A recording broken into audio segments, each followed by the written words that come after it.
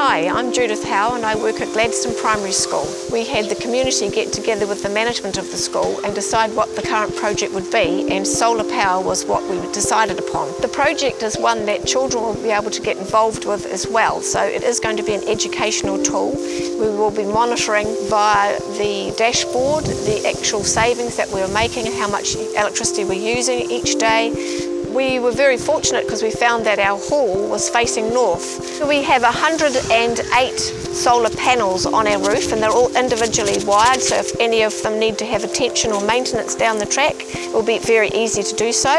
We can add to the system at any point in the future if we wish to generate more solar energy and it just seems such an obvious thing to do. So here at Gladstone we're very proud to be another step forward on our sustainable journey and the fact that we're educating our children and creating a huge awareness of what can be done with solar power.